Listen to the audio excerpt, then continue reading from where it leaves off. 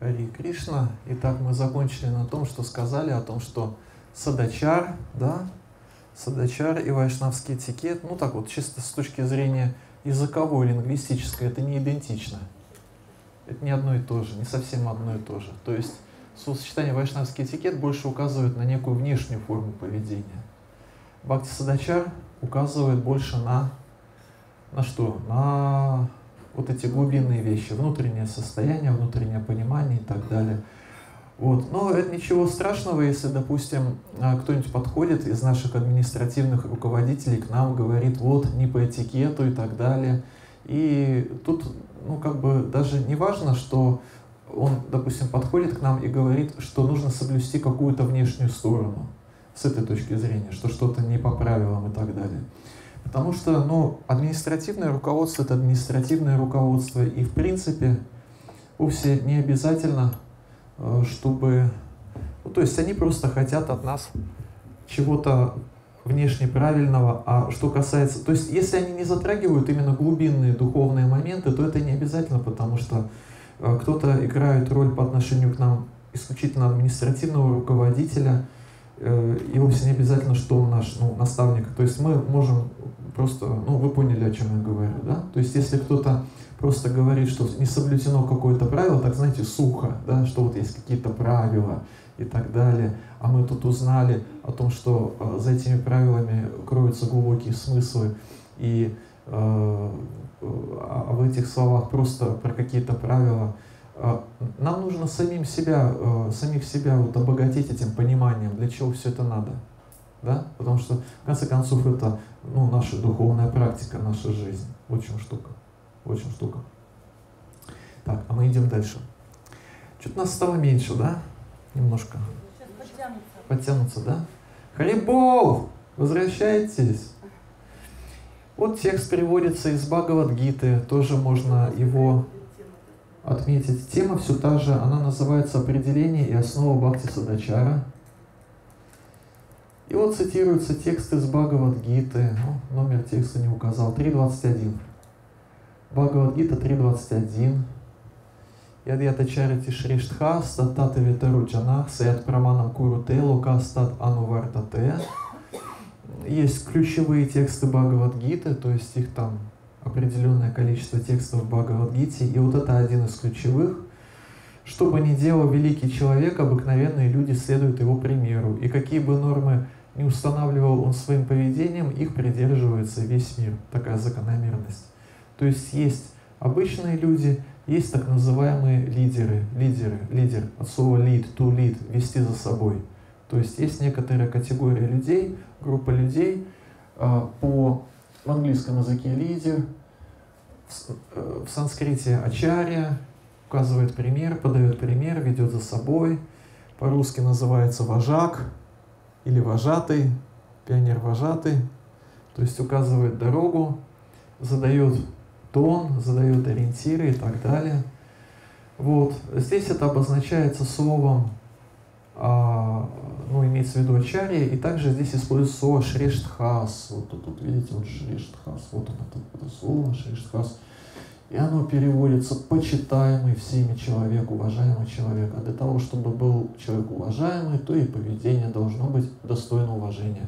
Еще раз, сад, ачар. Ачар поведение, сад означает достойное уважение. То есть, в принципе, если поведение достойное, то мы можем очень неплохо ну, помогать окружающим своим примером. Впрочем, если поведение тоже, если поведение не особо, то тоже найдутся последователи найдутся те, кто вдохновится. Вот. Каким бы оно ни было поведение, всегда э, на кого-то да воздействуешь, понимаете, в чем штука. Вот. Но это, знач... Э, это про значимость этикета, то есть это, это история про следование Бхакти Садачарова, получается, что она не только про нас, она еще и про окружающих. То есть, понимаете, да? Она еще и про окружающих. То есть окружающие, и особенно если у нас вес в обществе, спустя какое-то время пребывания в Искон появился некоторый вес в обществе или там кто-то нас зауважал, еще что-то, то это означает, что наше поведение становится инструментом воздействия на окружающих. Э, то есть это ответственность не только наше, но и за других. А этот вес все равно, он э, появляется естественным природным образом. Просто нужно, как это, не вылезать из автобуса. Ну, мы едем в этом автобусе. Год прошел, два года прошло, там э, практика идет. Э, вот, если мы не вылазим из автобуса из этого, да, то даже э, тут по-разному может сложиться. Можно обрести э, хорошие духовные реализации, можно не сильно преуспеть, но, по крайней мере, сам срок пребывания в Искон, он уже считается критерием, за который уважают с точки зрения вайшнавского этикета. Вот. То есть, э, может быть, не сильно пускают человека в сердце, может быть, но, по крайней мере, уважают просто за сам тот срок, что человек является, ну, может быть, не старшим преданным, но так называемым старым преданным. Да, разные категории.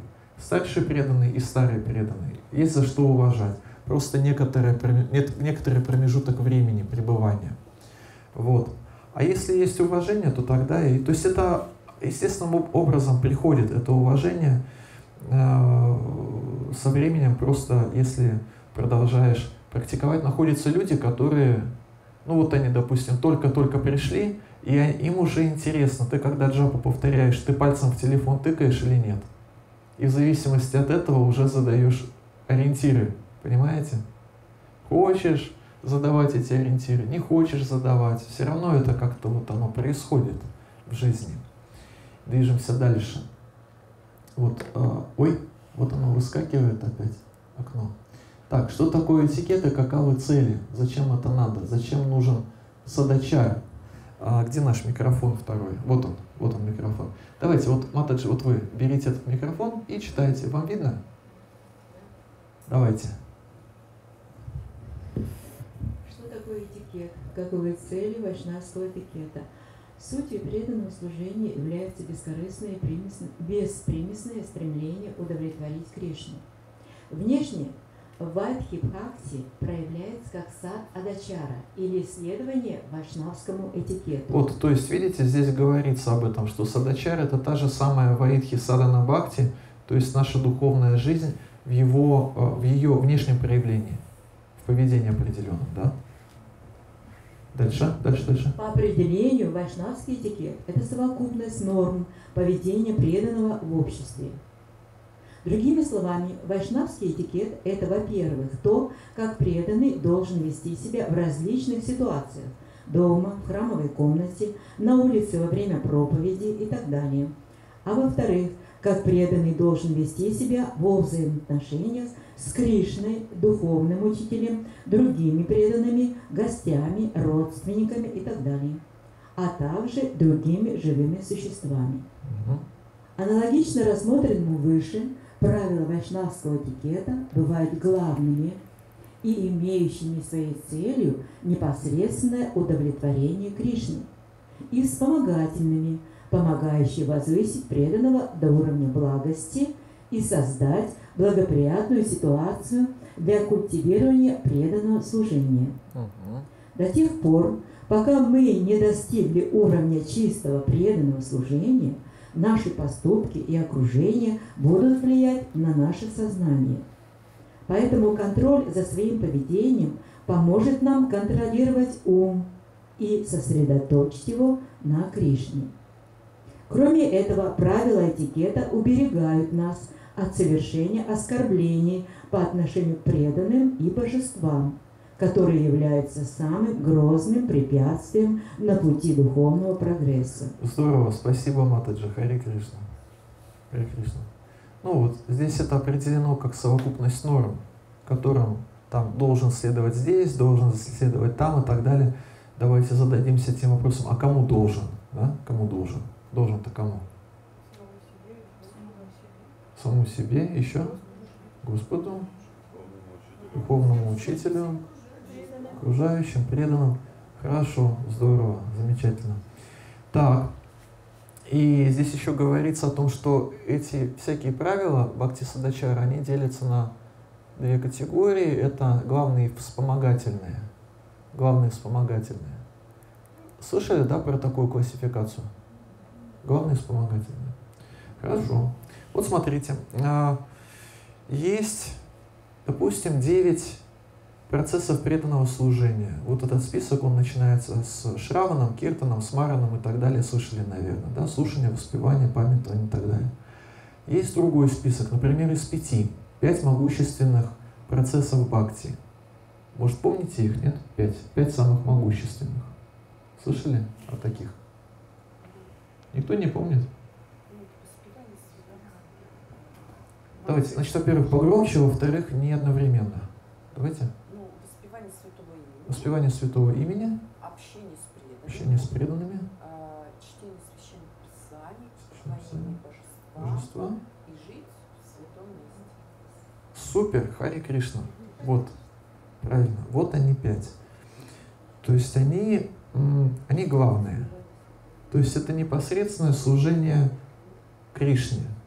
И общение с преданными это тоже служение Кришне и духовному учителю, потому что преданные связаны с Кришной. Вот. А вспомогательные. Здесь говорится про сатвагуну, про уровень благости. Это означает, что а, то, что позволяет нам это делать лучше. То, что позволяет нам это делать лучше. Ну и классический пример это вот принятие омовения, например, утром. Да? То есть, допустим, а, принял утром омовение и потом пошел что делать?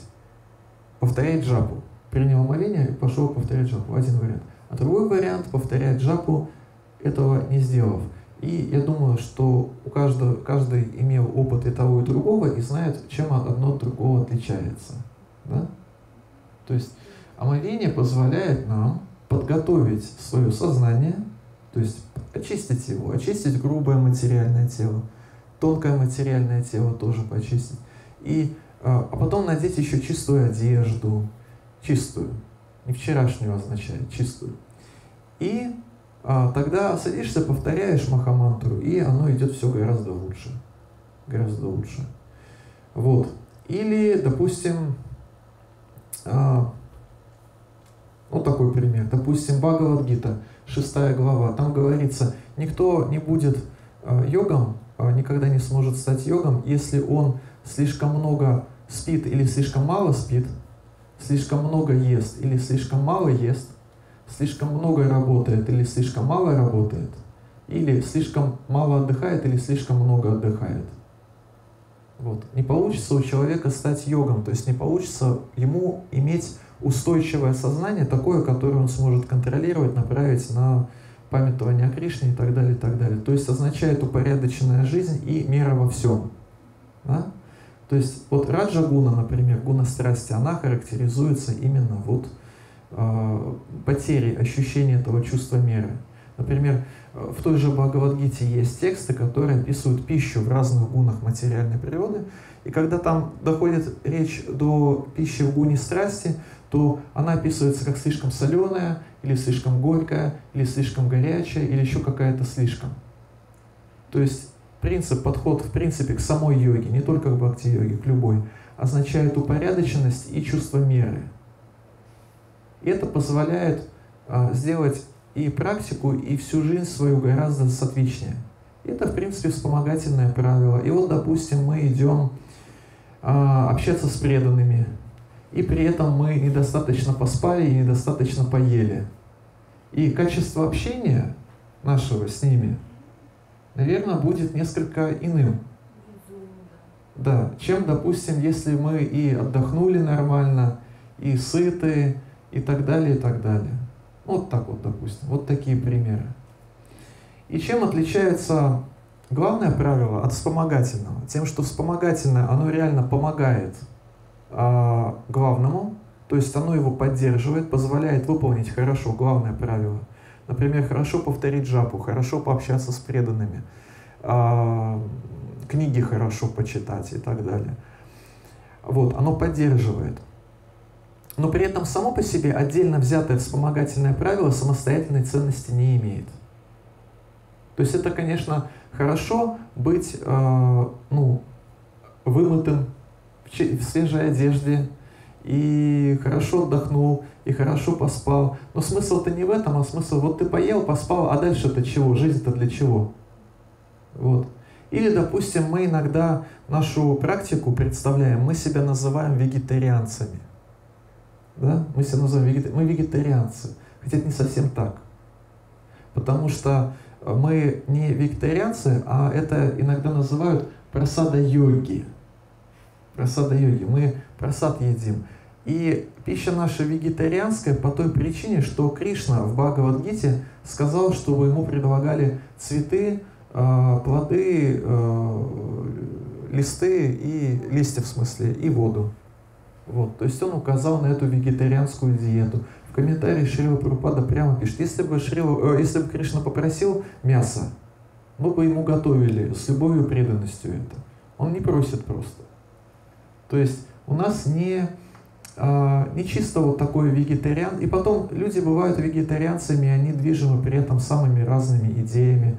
Разные есть причины, зачем быть вегетарианцем. Можно ради заботы о своем здоровье, один вариант. Другой вариант – жалко животных. А, какие еще могут быть варианты?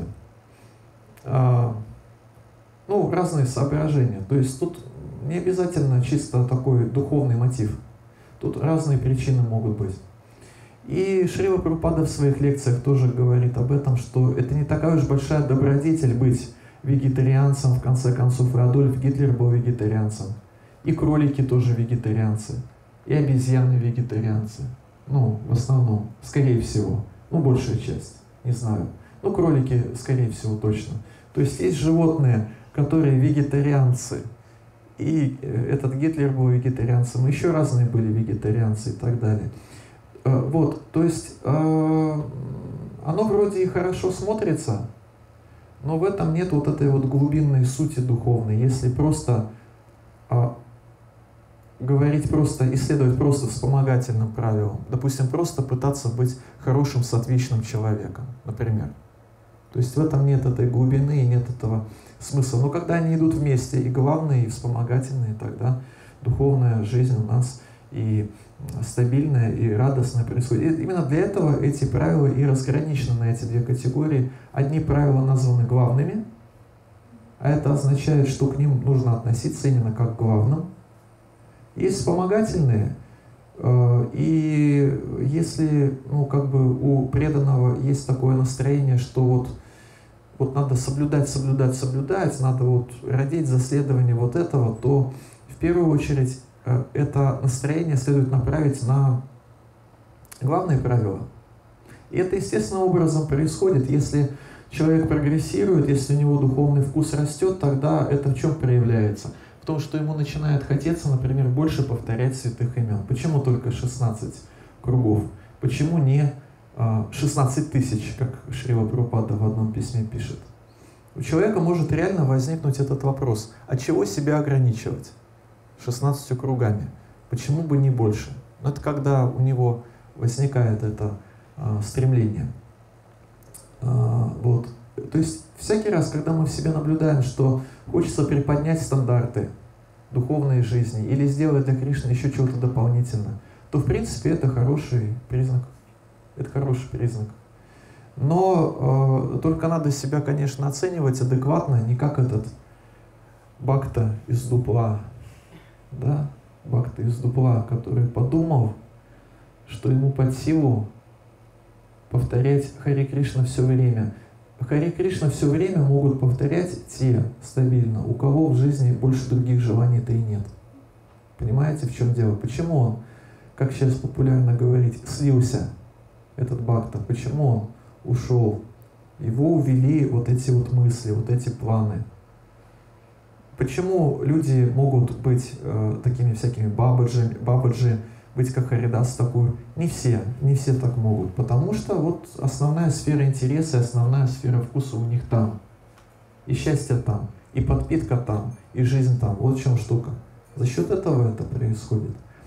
Вот. Поэтому, конечно, умеренность, опять возвращаясь к вопросу об умеренности, не слишком много и не слишком мало есть, спать и Э, отдыхать и работать, и точно так же и освоение новых вершин в духовной жизни, каких-то стандартов тоже должно происходить постепенно, соразмерно. Нужно прикинуть, что я могу, в каком стандарте я могу удержаться, если я хочу повыше. Вот. А, что-то сейчас алтарь закроют, похоже, да? Да, ну ладно, хорошо. Так, это у нас правила. Э, они бывают главные, бывают второстепенные. Мы будем о них сегодня говорить. Где у нас курсор? А, вот он. Так, чем отличается мирской этикет от этикета, от этикета вайшнавов? Еще раз, в чем, чем отличается мирской этикет, просто этикет, какая-то внешняя форма, от бхакти садачары или от этикета вайшнава? Тем, что в центре принципа вайшнавского этикета стоит Кришна. Кришна. Это отличает его от мирского. Многие правила могут совпадать, но их значения различны. То есть и те, и другие моются по утрам и бреются. И те, и другие говорят спасибо, пожалуйста. Ну, может, не все, но как бы. И те, и другие могут уступать друг другу дорогу. Вопрос зачем и почему. Вот в чем ключ. Угу. Вот такая история. Движемся дальше. У нас осталось до просада полчаса. И в течение этого времени мы обсудим нашу тему и послушаем также ваши вопросы. Так, это что такое? Это у нас... Вот, это про значимость Бхакти Садачари. Очень хороший текст. А, точнее, очень важный текст из антиливы. Ну, те, кто номера текстов записывают, можете отмечать как-то, а может... Этот файл у вас будет, у вас все будет. А, Тадхапи Бхакта Свабава Марьяда Ракшана, Марьяда Пала Нахая Садура Бушана. А, тогда, наверное, Ракшана надо было сказать. Садура Бушана. Шри Читани Махапрабху прославляет Шриву Санатану Госвами. Дорогой Санатана, хотя ты и спаситель всей Вселенной, и даже полубоги и великие святые очищаются от соприкосновения с тобой, то есть это он прославляет Санатану Госвами, который вот там в Мадхилиле 20 главе спрашивал, кто я. Мы о нем говорили. Хотя ты спаситель всей вселенной, даже полубоги и великие святые очищаются от соприкосновения с тобой, преданный всегда строго следует правилам вайшнавского этикета, соблюдение этикетов вайшнав, этикета вайшнавов украшает преданного, украшает преданного. То есть, несмотря на то, что ты уже чистый и совершенный, все равно ты продолжаешь этикету следовать, и он украшает. То есть этикет это не какая-то временная мера. Это, во-первых. Во-вторых, это украшение. То есть это просто хорошо, это красиво, это эстетично. То есть мы говорили о том, что это что оно и от э, последствий, ну то есть от аппарата защищает, воздерживаемся от неправильных действий, также подаем пример окружающим принципа чара, но также это еще и украшение. Украшение. И дальше есть хорошее рассуждение на тему этой шлоки. Вот украшение. Допустим, на вас висит украшение. Какие-нибудь бусы или какой-нибудь медальон. Вот оно сравнивается с вайшнавским этикетом, это украшение. Точнее, наоборот, этикет сравнивается с этим украшением. М-м. От кого зависит, будет ли это украшение висеть на нас или не будет? Вопрос такой. Оно висит. От кого зависит? Оно висит или оно не висит? От нас самих. Да, да, да. да. да. То есть, смотрите, это к чему? Это к тому, что бывают ситуации, что а, кто-нибудь скажет, допустим, так-то я, так-то со мной все хорошо, но меня спровоцировали, там, допустим, повести себя не в соответствии с этикетом, меня спровоцировали. Вот эта шлока, она добавляет осознанности. То есть на человеке висит украшение. Оно никак иначе не может быть снято, кроме как человек сам себя, себя его снимает. То есть если а, человеку удалось спровоцировать, это означает, что в принципе в нем бессознательно есть вот эта вот идея, что да, я буду действовать как надо, но вот конкретно в таких-то ситуациях нет. Конкретно вот эти ситуации, это уже предел, и здесь я уже вот это вот, которое меня украшает украшение, тут уж я его сниму. Вот. И тут мы опять сталкиваемся с инерцией своего вот этого материального сознания, то есть вот эти вот, вот эта идея, что есть ситуация, когда его можно снять, а, ну, они заложены, они могут быть, эти программы внутри нас, и если она сработала, и даже если мы в какую-то ситуацию влипли, что мы взяли и сняли себе это украшение, хоп, и сняли, это тоже, как к этому надо, Матаджи, относиться, вот мы говорили про книгу «Наука самосознания». А? Как? Какой подход? Когда всплыло что-нибудь? И что? И дальше, и возвращаешься, вешаешь украшения обратно. Да, вешаешь украшения обратно. А еще? Мы говорили об этом. С интересом. О, как интересно. Да, это же интересно. Оно всплыло, и, слава богу, э, когда начинаешь себя ругать, то запихиваешь обратно его. Да-да, не надо ничего запихивать, правильно? Обратно оно запихивается. Не надо ничего обратно ну, запихивать. Ну выбросил. Потому что, да, да. Микрофон берите. Берите микрофон, вот микрофон. Да. Можно рассказывать? Что? Другим можно рассказывать, что у тебя всплыло? Ну, Зависит от того, что всплыло. Но мы прослеживаем да? это, да, что всплыло, и все равно, ну, как бы запечатляем, что как не надо, что-то откладываем, что это, ну, плохо, все равно сознание. -то. А если просто так, ну, вот, как ерунда это какая-то, оно опять всплывет, если мы не работаем с этим. Все да. равно что-то надо, не то, что себя бичевать, да, да, но понять, что вот это вот, ну, как бы я увидел вот это плохое, да, заметить его хотя бы, да. Да. Это отпечаток в сознании, самскара называется, и ее можно ослабить, если раз за разом поступать иначе. То есть нужно как бы сконструировать у себя в сознании новую модель поведения, образ такой, новую модель поведения, как я в похожих ситуациях буду себя вести. И дальше, когда мы попадаем в эти ситуации, ее запускать. И вот каждый раз, когда мы это делаем, мы ослабляем прежнюю самскару, формируем новую.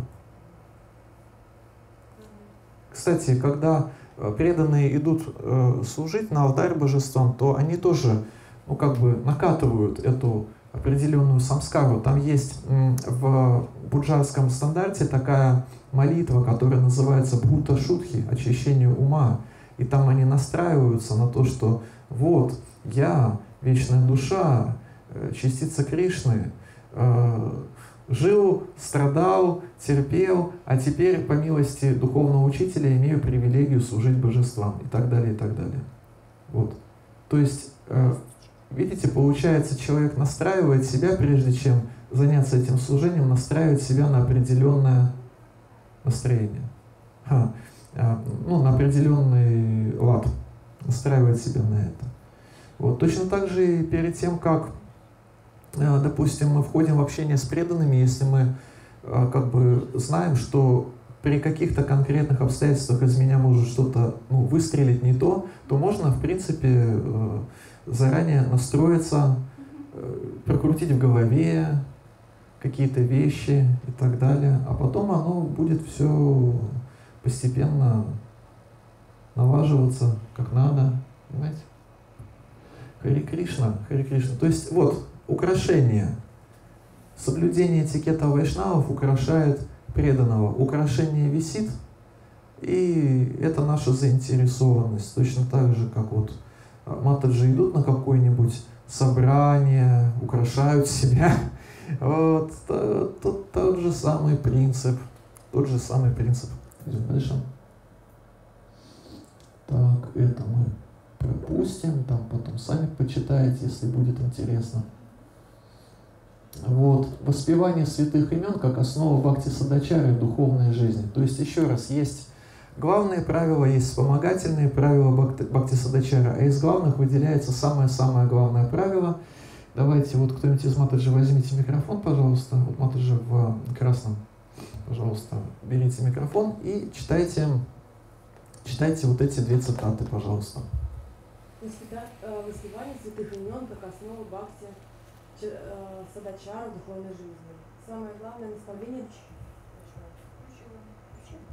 Работает. Самое главное наставление духовного учителя. В движении сознания Кришны мы советуем начинающим повторять как минимум 16 кругов. Если человек хочет всегда помнить о Кришне и никогда не забывать о нем, он должен строго следовать этому правилу. Из всех правил, которые дает духовный учитель, его наставление повторять не менее 16 кругов является самым важным. члены ИСКОН.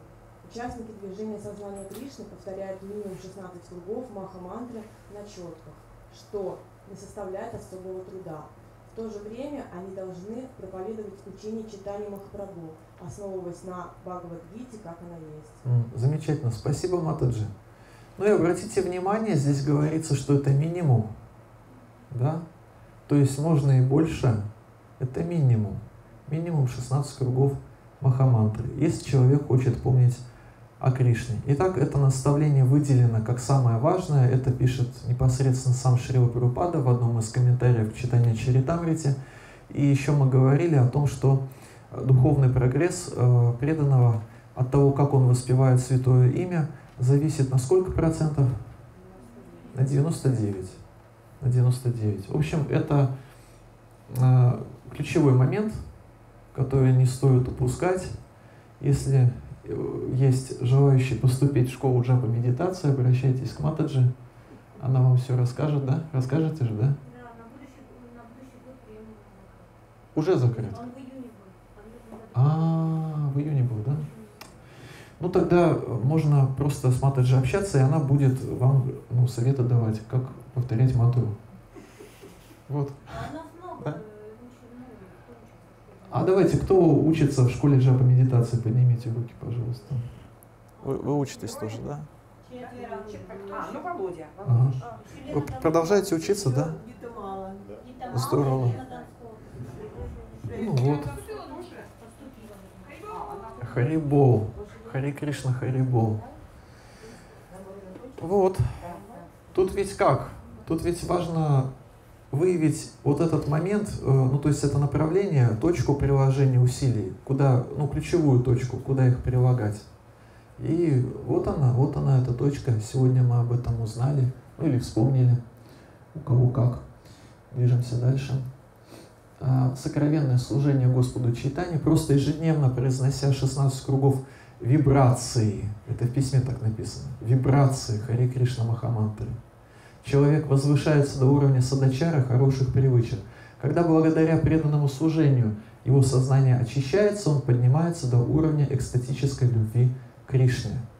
То есть, видите, да, если повторяем просто мантру, даже еще не служим, уже становимся а, ну, такими хорошими ребятами.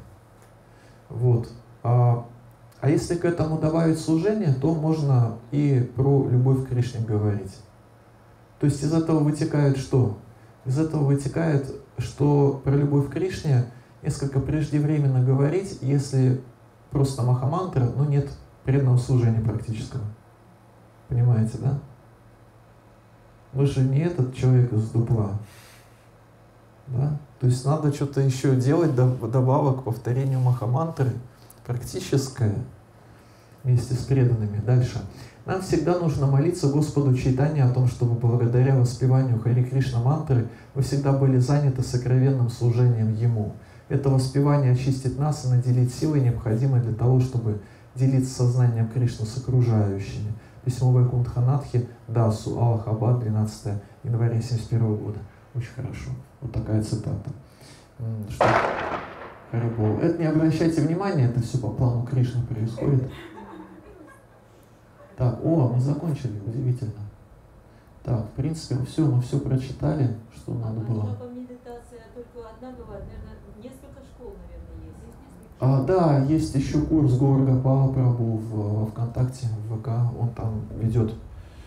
А, вот, потом еще у нас, точнее не у нас, а в Америке есть такой Махатма Прабу, и он проводит нам ретриты, то есть ретриты святого имени. И сейчас он начал достаточно регулярно транслироваться а, ну, с русским переводом в а, ресурсах, то есть в группе «Храм Кришны в Москве». Такая группа есть во ВКонтакте и есть соответствующий YouTube-канал. Вот я не уверен, есть ли записи его на ретритов. А, В общем, короче говоря, кому надо, кто ищет, тот обрящет. Слышали такое, да, наверное? Вот варианты есть разные, как э, это делать. Мгм. Хорошо, вот мы, значит, э, поговорили сегодня про что. Сейчас я подытожу, и мы перед тем, как уйти на обеденный перерыв, мы послушаем ваши вопросы. Мы говорили про истинную природу живого существа, говорили о том, что мы души, говорили о том, что Бхакти Садачара это у нас что? Это а, поведение, которое служит как пример для окружающих.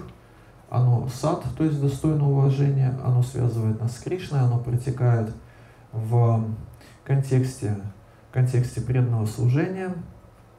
И э, оно приближает нас к осознанию нашей истинной духовной природы. Вот, то есть это не просто некий набор норм да, извне, чтобы люди приняли. А? Вот, кстати, кстати, интересный момент тоже касающийся этих категорий, лаукика шрада и шастрия шрада. Э, когда человек этому всему следует, желая удовлетворить Кришну, гуру, преданных и так далее, это ближе к шастрия шрадхи, потому что об этом в священных писаниях говорится, для чего это надо. Но когда он это делает преимущественно для того, чтобы люди его приняли, да, и если эта мотивация преобладает, ну это нормальная мотивация. Мы хотим, чтобы нас приняли. Но если это основное, если нет желания э, этим поведением их удовлетворить, если вот это основное, вы только примите меня. А?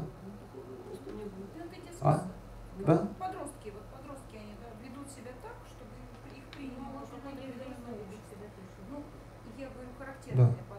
Вот Матаджи говорит, это характерно для подростков, и другая Матаджи дополняет, что э, ну, не все перерастают этот уровень. Да, сейчас Это факт. Да, да, ребята, вот такова жизнь. А, то есть, да, вайшнавский этикет можно воспринимать как внешнюю сторону Ваидхи Садана Бхакти, как средство удовлетворить Кришну, или же его можно воспринимать в крайнем варианте, воспринимать как некую цену, которую платишь за то, чтобы не выгнали из искон. Да? Понимаете, да?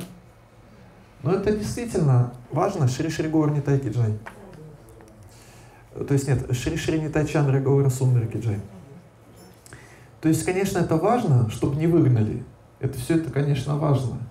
И эта потребность быть принятыми окружающими, она, естественно, обычная нормальная психологическая потребность. Быть в кругу единомышленников, чтобы принимали, чтобы относились хорошо и так далее, и так далее. Но если преобладает только это, поэтому мы собираемся, обсуждаем вот эти вот духовные смыслы, которые лежат в основе этих вещей, и в частности а, вот этих вот, так сказать, норм, которые ожидаются. Вот. В первую очередь, это интересный момент. Я закончу таким моментом а, интересным. Его тоже Махатма Прабу отметил. Махатма Прабу, ученик Шрила Прабхупада, один из инициирующих гуру в Искон, американец. Он интересный момент отметил. Когда человек приходит на духовное посвящение и своему духовному учителю обещает, что я буду следовать четырем регулирующим принципам и повторять круги Махамантры и так далее, то а, ему реально удастся с этим справиться, если он эти обеты принимает не только перед гуру, но и перед собой. То есть э, это внутренний момент такой. А, то есть он, а, а если он пообещал гуру, но при этом не пообещал себе, то есть если у него не прошел вот этот вот внутренний процесс, да? Потому что иначе, если он не пообещал себе, то как это может сработать? Следую, а потом в какой-то момент э, гуру с его наставлениями оказывается неудобным для того, чтобы служить своим чувствам и уму. Но если есть обязательство, принятое э, практикующим перед ним самим, вот тогда это получается. Понимаете, да?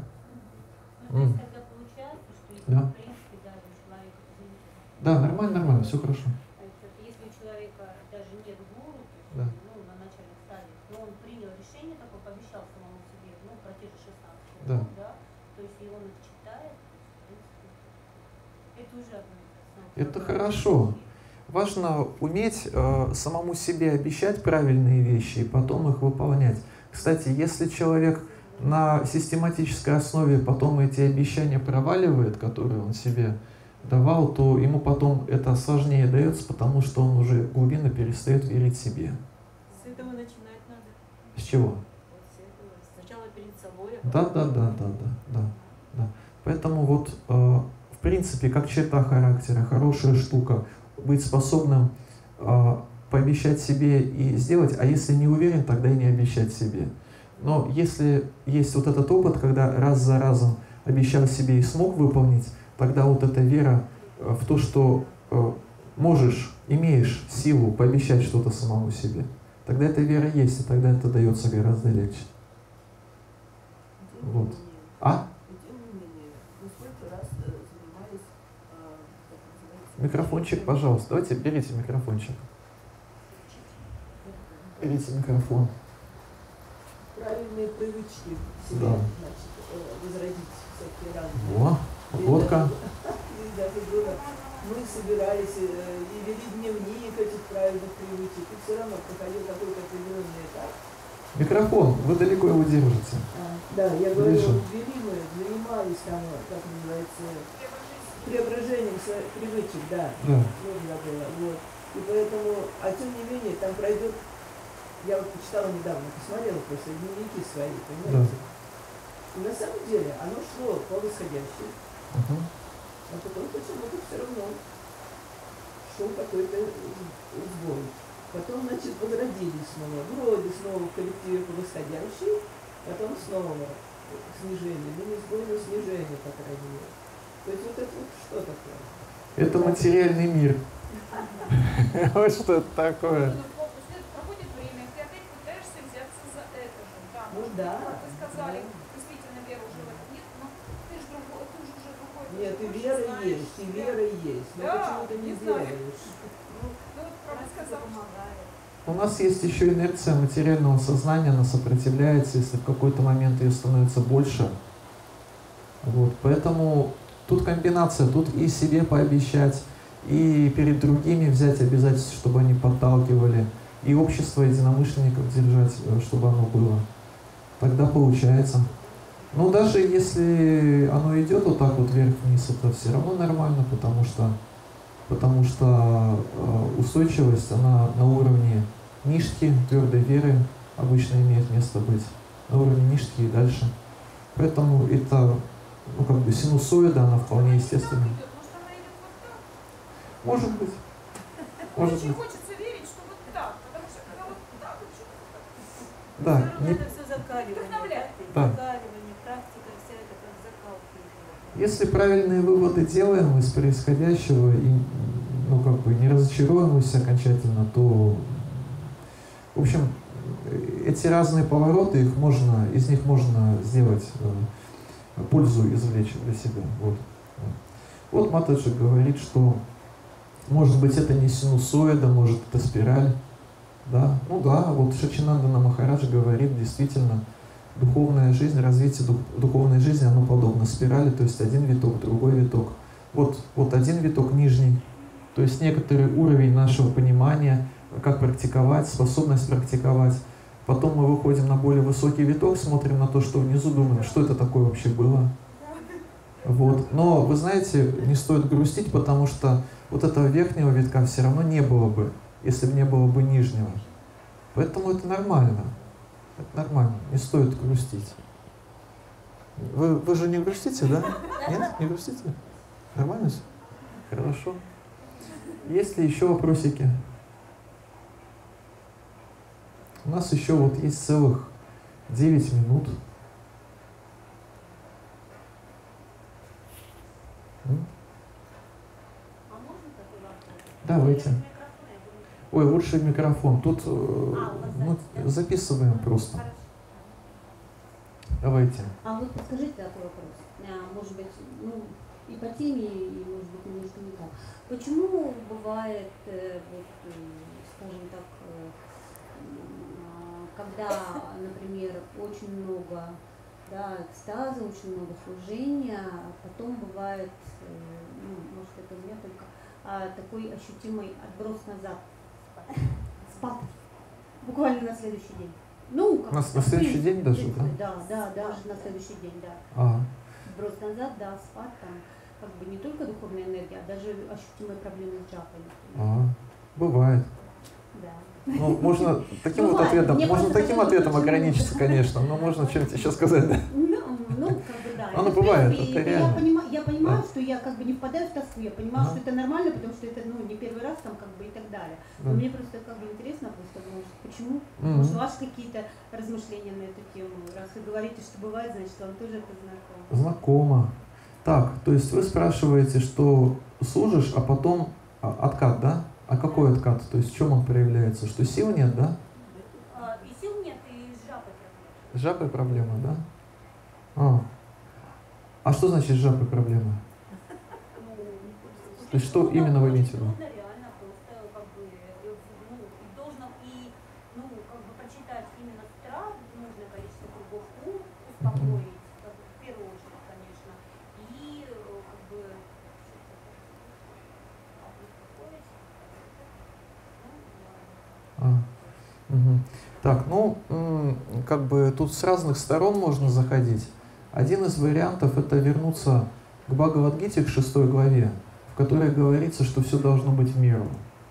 То есть и труд, и отдых, и еда, и сон. Соответственно, а, ну, способность внимательно читать жапу зависит от того, какое сознание. Если человек устал, то, в принципе, может быть полезно и отдохнуть даже перед жапой. Значит, сначала отдохнуть, а потом уже повторять э, Махамантру. Поэтому это, ну, нормально. Вот. эм. Ну, то есть это в, в ка- какой-то части, в какой-то, в каком-то аспекте это именно вот физиологическая сторона или даже биохимическая сторона. Сейчас, знаете, вот стало популярным, Гасай Махарадж тоже лекции читает, затрагивает всякие нейрофизиологические стороны, как мозг работает и так далее, и так далее. То есть, что означает выгорание, оно в чем проявляется? То есть, человек взял какую-то планку, он э, совершает работу, деятельность, определенный объем изо дня в день, одно и то же. И э, какое-то время он чувствует, ну, помимо духовного вкуса, это еще можно рассмотреть с точки зрения биохимической, э, с выбросом дофамина все нормально. Дофамина, то есть вот этого вот гормона, который э, дает человеку удовлетворенность э, жизнью в целом. То есть вот этот некоторый позитив. Он из разных источников может приходить, это все можно в интернете найти, если пройтись по хорошему парку, свежий воздух, солнце светит, птички поют, оно выделяется само, это биохимия, это организм. Вот. А выгорание проявляется в том, что просто вот человек изо дня в день одно и то же делает, и а, а, организм, он же не вырабатывает это все время, и вот эта выработка идет куда-то вниз, а человек может по ошибке это связать с деятельностью, что-то с деятельностью не то. Хотя с деятельностью все то, а не то с организмом. Есть же какие-то биоритмы, есть же спады и подъемы, иногда тело чувствует себя одним образом, иногда другим. Поэтому да, поэтому опять Бхагавадгита 6 глава, умеренность. Если человек отда- устал, видимо, надо а, отдохнуть ему. Вполне возможно, что ну, неудовлетворенность или какая-то несосредоточенность а, в духовной жизни ну, не имеет каких-то глубоких основ. Иногда бывает фобия у человека, точнее, такое, не фобия, а как бы такое состояние, что вот э, если что-то ослабло в моей духовной жизни, наверняка это из-за вайшнава аппаратхи, наверняка я кого-то оскорбил, наверняка я кого-то оскорбил. Хотя, может, просто дофамин меньше вырабатывается. Вот. Мы же еще в телах, и мы конкретно себя с ними отождествляем. Может быть, мы даже думаем, что это духовный экстаз, а на самом деле это дофамин. Такое же тоже может быть. Я не говорю, что э, духовные переживания нам недоступны. Они тоже вполне, ну как бы, отблеск, отражение на нашем уровне, на уровне регулируемой практики, не наши собственные эмоции, они отраженные обычно, отраженные из сердец чистых преданных. Вот. Но это может быть вполне себе просто такое вот приподнятое настроение, имеющее, в том числе, имеющее вот обеспеченное вот этой вот биохимией. Потом оно куда-то улетучилось. И поэтому, поэтому Ваидхи Садана Бхакти, практика Ваидхи Садана Бхакти заключается в том, что мы э, стараемся следовать этому процессу из чувства долга, независимо от того, какое настроение. Сегодня нравится, не нравится, есть настроение джапу повторять, нет настроения, что там выработала эта фабрика в теле, что не выработала, понимаете? Даже если депрессия, все равно будем повторять Хари Кришна. Может, депрессивно будем повторять, но от этого 99% зависит, поэтому ну, зачем ставить это в зависимость от настроения? Поэтому вот, вот так вот.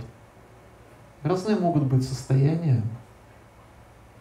Вот э, гуны есть, три гуны материальной природы, они между собой чередуются, то одна усилится, то другая. Нет какой-то стабильной точки. Хари Кришна. Есть ли еще какие-нибудь вопросики? Да, Матаджи, давайте. Микрофончик берите. Вот микрофон. Ну, если он не работает, надо сдвинуть эту штуку. Вот ваш вопрос будет последним, потому что нам нужно вовремя закончить, а потом, если что-то осталось, то это потом. Да?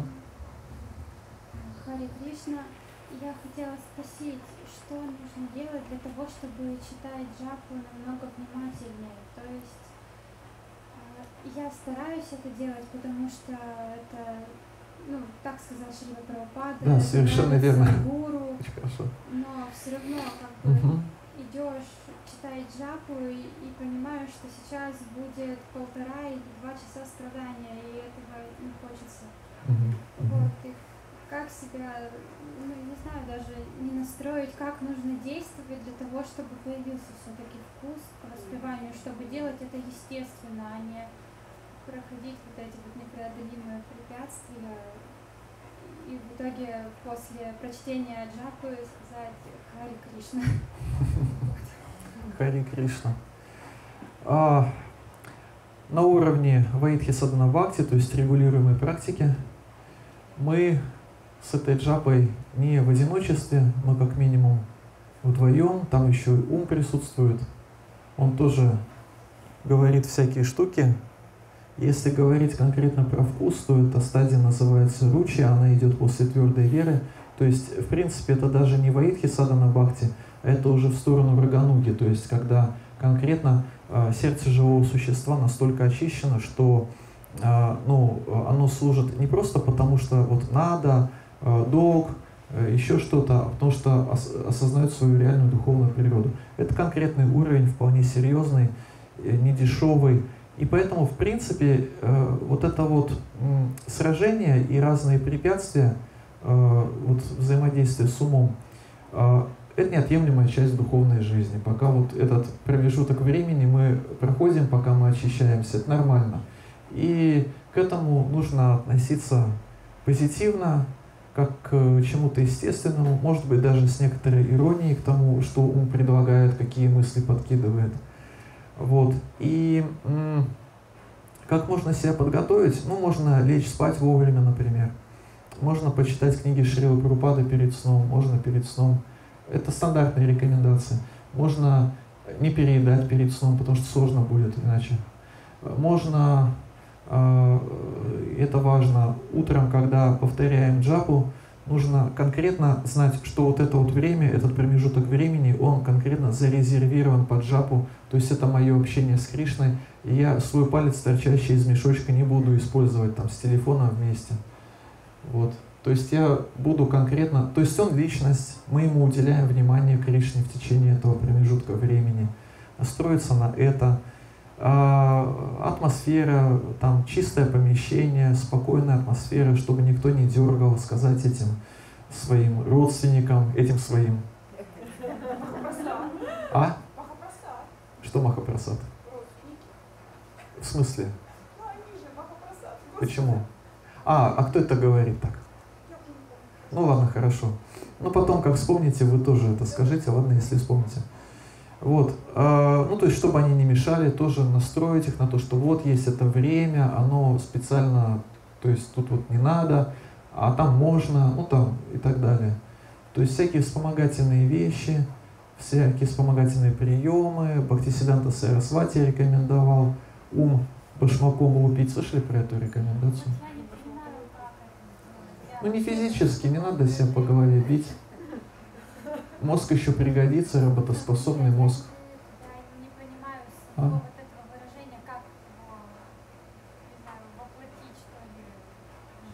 Это означает, что мы говорим своему уму, что я не буду тебя слушать. Сто раз утром говорим и сто раз вечером. Он подкидывает разные идеи, а, вот, а, которые уводят в сторону. Но для того, чтобы, для того, чтобы понять, что уводит в сторону, что не уводит, надо и книжечки почитать, чтобы, а, которые зададут ориентиры. И вот тогда уже будет понятно, а, от чего мы, что мы пытаемся отбросить из своего ума. Потому что там бывают полезные мысли тоже. То есть мы не маевади, которые пытаются опустошить свой ум. Это даже невозможно технически. Но если у нас есть правильные ориентиры через Шраванам, через книги, тогда мы видим в своем уме, что лишнее. И вот мы говорим, что, дорогой друг ум, вот ты мне вот это говоришь, а я тебя слушать не буду. Вот, вот так вот. вот. Видели? Все видели, да? Вот. Не буду слушать тебя. И так, так ему говорим утром, вечером по сто раз. Есть целая, э, целые семинары Гасвами Махараджа, вот Матаджи в зеленом знает, э, называется «Монах Шикша». Целый цикл семинаров, очень много. Но это ничего страшного, я просто говорю, что они есть. Монах Шикша. И вот можно слушать. Там напрямую говорится о том, как Вайшнав относится к своему уму. То есть он его не, э, не слишком к нему сильно прислушивается, но и не лупит э, как бы слишком сильно. Опять же, чувство меры. Он, поним, э, он умеренно к этому относится. И в Бхагаватам в 11 песне есть текст, в котором говорится о том, что преданный, опытный, он подобен опытному наезднику, который на необеженной лошади ездит, и он знает, когда натянуть вожжи, а когда их ослабить. Вот. То есть тут целая наука. Мы сожительствуем в этом теле вместе со своим умом, и надо узнать его, так сказать, характер, как он действует, и находить с ним этот общий язык, уметь с ним договариваться. Мы не одни в этом теле, видите, как выясняется. Вот. В баджанах ачарьи обращаются к уму как к какому-то отдельно взятому живому существу. О, ум, там, послушай о Кришне, еще что-то. А, вот такая история. То есть э, предстоит очень интересная жизнь, не в одиночестве. Э, то есть, с одной стороны, и Кришна вместе, ну и ум тоже вместе. И, а мы татастха шакти, то есть что мы усилим в себе, или духовную составляющую жизни, или материальную, этот выбор от нас зависит. Вот. Ум пытается за, заместить собой сферу душу. Сфера душа, сам Господь. Он нас ориентирует, куда идти. А он пытается заместить, подсказывает разные идеи. Если провалилась идея, тогда он говорит, это ты сам виноват. Это как в анекдоте про студента там э, внутренний голос ему говорит, вот выучи билет номер 11 и ложись спать, перед экзаменом говорит. Выучи билет номер 11 и ложись спать.